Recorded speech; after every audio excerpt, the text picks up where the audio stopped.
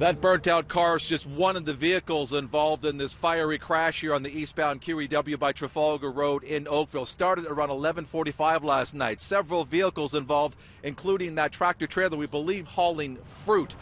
That truck caught on fire and the flames spread, we believe, to that car, which was pinned between the truck and the concrete wall here. Uh, several people taken to hospital with minor injuries. Then, as crews began the cleanup, they discovered a body amongst the burnt wreckage. That person obviously pronounced dead on scene.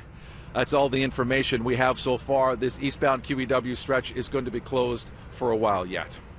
By the eastbound QEW near Trafalgar Road in Oakville, I'm Carl Hanstke, 680 News.